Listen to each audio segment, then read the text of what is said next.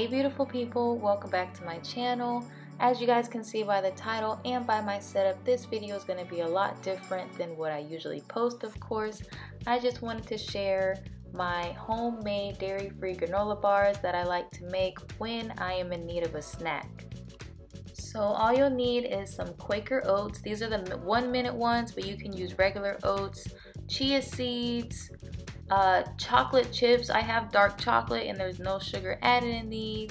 Some almond butter. I got the no salt added because I don't know, I'm weird. I never get salt and stuff, even though we're gonna use salt in this little recipe. And some coconut oil. So those are the ingredients that you'll need. And then of course a bowl and a spoon. Oh, and of course honey, how did I forget? So you'll also need some honey. Now I'm just gonna go ahead and open up my almond butter and as you can see there's some water at the top. Just gotta mix it up really well. Again, this is no salt, no sugar added to it. I don't know why I decided to get this one, but I did. And as you guys can see, I don't have any measuring cups, so just bear with me. I've made this so many times to where I just kind of know how much I need. But I did use about half of my jar, so about half of a cup, maybe one cup. I'm not sure. I'll just link the video where I got this original recipe from so that you can actually see the measurements. Next, I'm just gonna go ahead and get some salt ready. I'll use about half of a tablespoon. And later on, I did add a little bit more, um, but it's really just based off of how you feel. And now I'm just gonna drizzle some honey, but that was my mistake. I was definitely supposed to add way more honey than this. Um, should have added at least half of a cup, um, but it didn't turn out bad. It just wasn't as sweet as I wanted it wanted it to be at the end.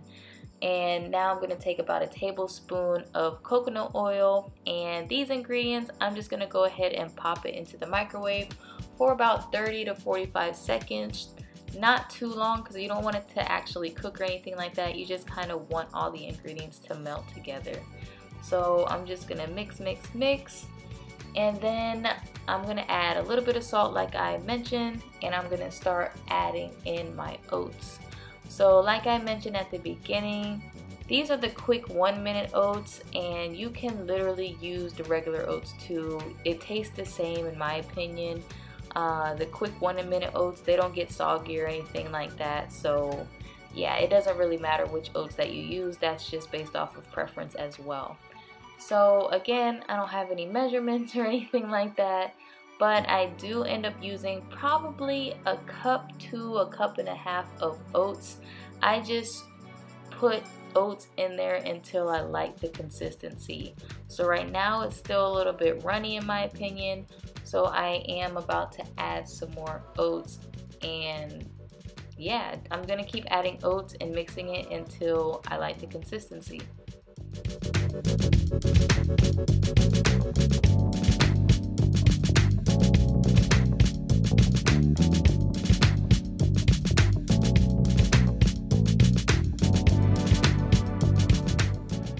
Now that I have the consistency that I like, I'm gonna go ahead and take about a tablespoon of chia seeds and add that in and mix it in. You guys can literally use whatever you would like. I just have chia seeds in my apartment, but if you have flax seeds, you can add that. If you have cranberries, you can add that. It's just kind of whatever you want to throw in there to make your own granola bar. So that's just all I had around my apartment. So that's what I decided to use. And then after I get the chia seeds all nice and mixed up, I'm to go ahead and start adding my chocolate chips. So remember, you just took this out the microwave, so it is still warm. So once you start to mix the chocolate chips in, they will start to melt and it's just to look so good. Like, you can literally eat it just like this if you want to.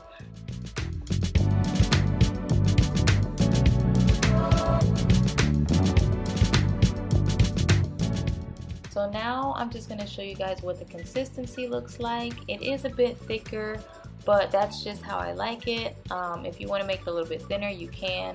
But for me, you know, the next step is we're going to lay it out on some parchment paper and then put it in the fridge. So I just like the thicker consistency. But yeah, now I'm going to go ahead and grab a piece of parchment paper, lay it out on my counter, so that I can prepare to, you know, flip all of this onto it.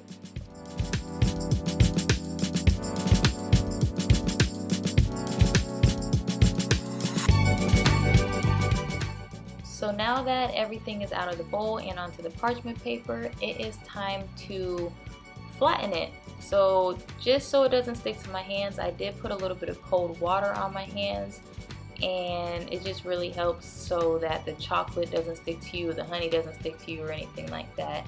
And just flatten it into whatever shape you want. I just made a fancy little circle oval um, I can never get it into a perfect square, but if you can, kudos to you. But yeah, that is what I'm gonna do. And then I just rinsed my hands off really quick and I am adding more honey because like I told you guys, it definitely wasn't sweet enough. So I wanted to sweeten it up just a little bit. Now we're just gonna go ahead and pop it in the refrigerator and let it solidify. So it has been a couple of hours, not too long, probably only needs to sit in there for a minimum of one hour, maximum of three hours. And it'll be hard enough to where you can go ahead and take it out so you can cut it into granola bars. So as you guys can see, I grabbed a little butter knife. Y'all, use a real knife, okay? I'm about to go ahead and grab me a knife in about three and a half seconds. Yeah, go ahead and get you a real knife, girl. So I am just cutting it here and I'm just to cut it into however many pieces that I want and however big that I want it.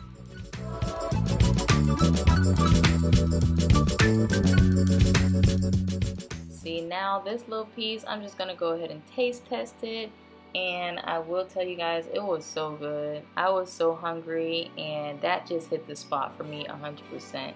But I'm just to go ahead and finish cutting this and I'll show you guys the final result.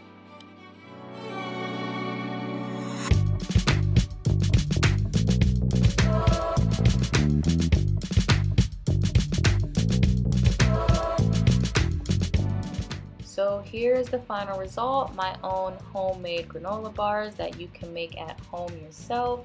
Very easy, very convenient to do, and just depending on how many you make and how often you eat them, these can last a couple of days. So this definitely lasted me about maybe three to four days and it was just nice to have. But thank you guys for tuning in.